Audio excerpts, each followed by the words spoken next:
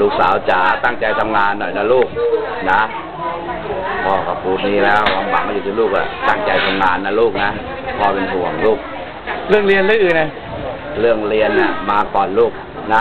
เรื่องอื่นตามสบายพ่อไม่ว่า